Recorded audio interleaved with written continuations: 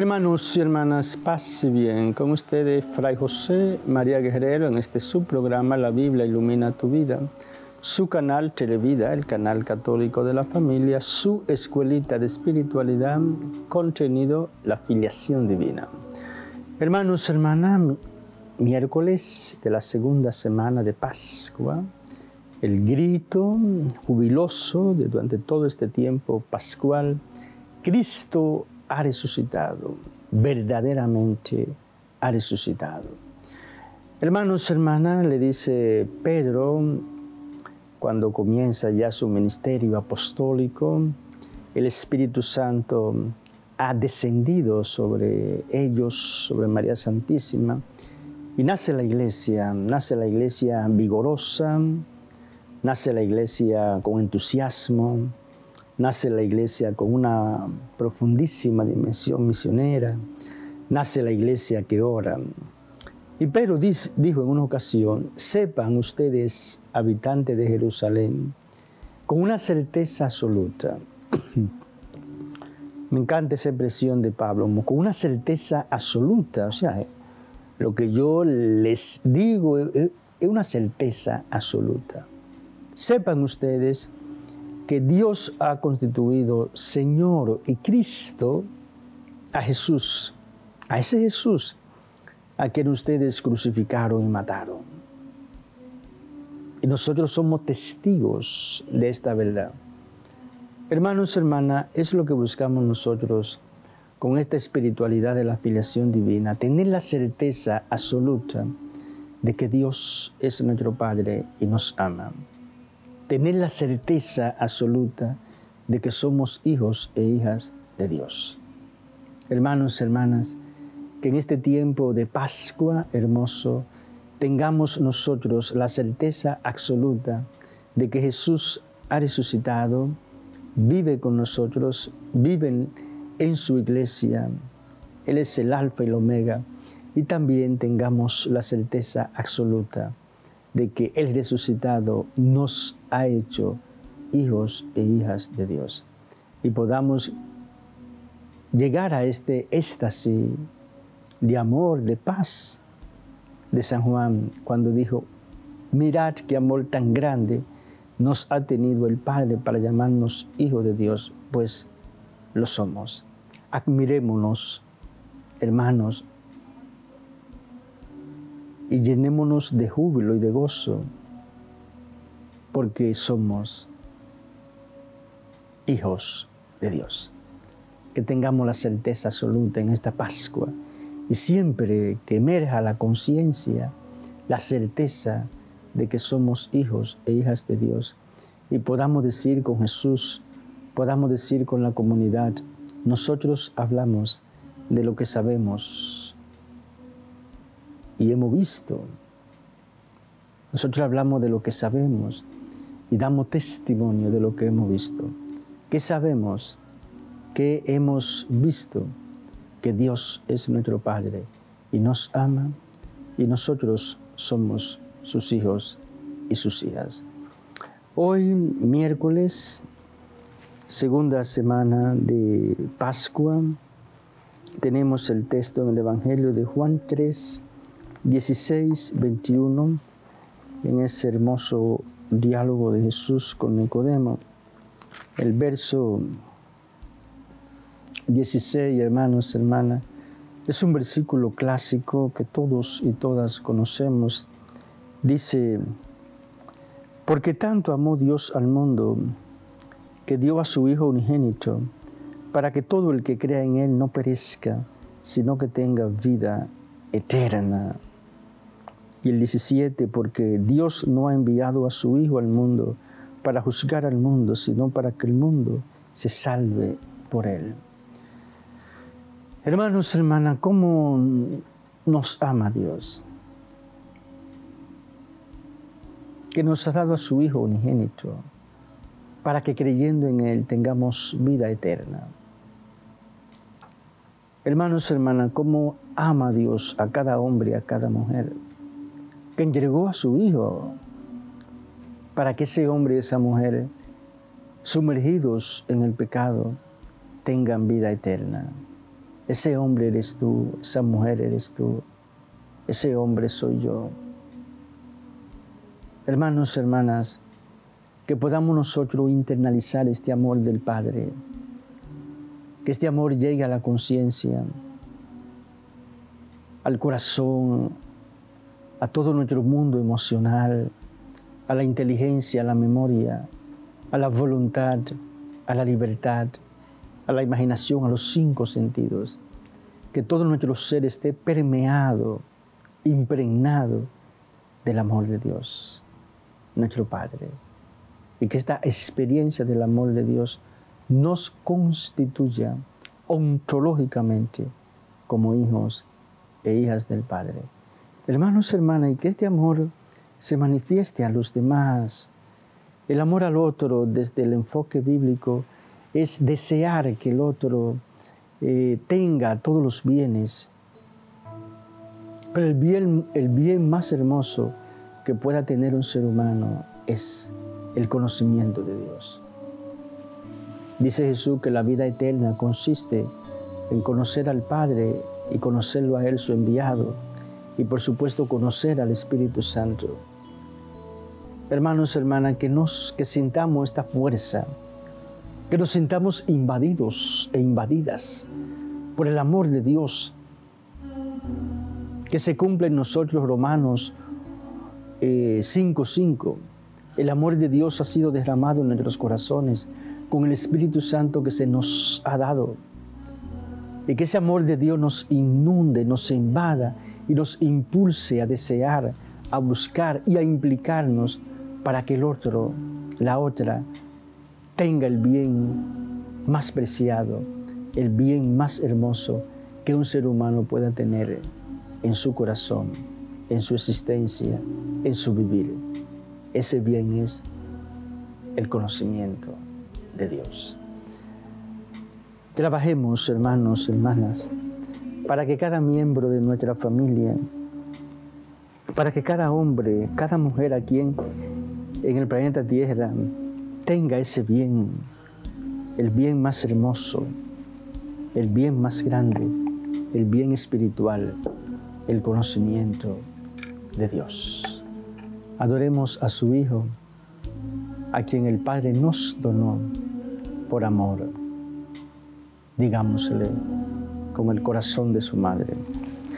Señor mío y Dios mío, creo firmemente que estás presente en la hostia sagrada, en la plenitud de tu amor, en la plenitud de tu poder, en la plenitud de tu divinidad. Creo en ti y te adoro.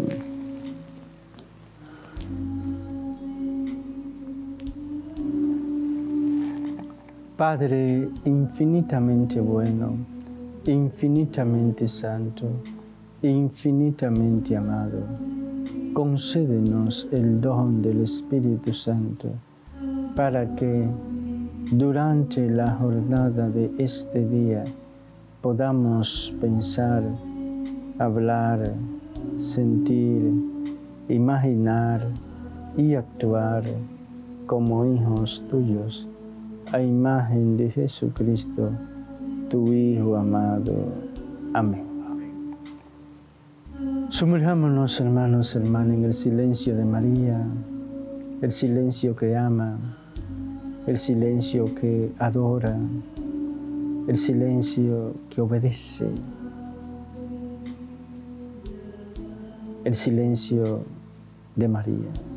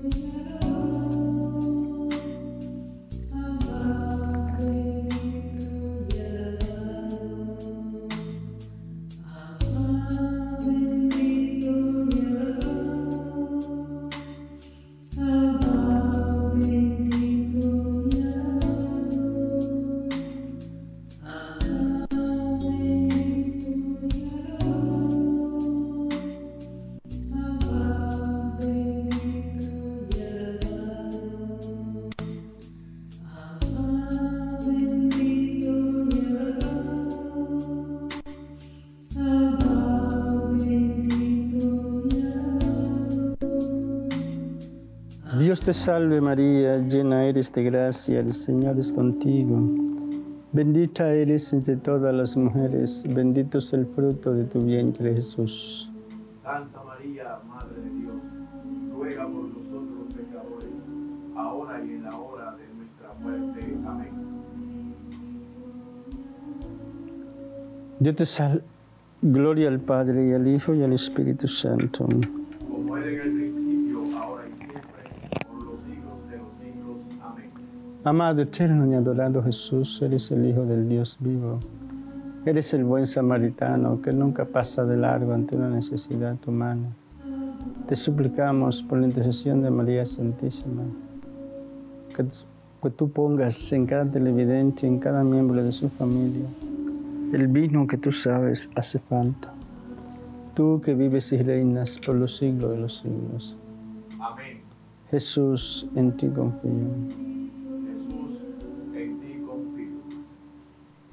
Jesús, en ti confío. Jesús, en ti confío. Jesús, en ti confío. Jesús, en ti confío.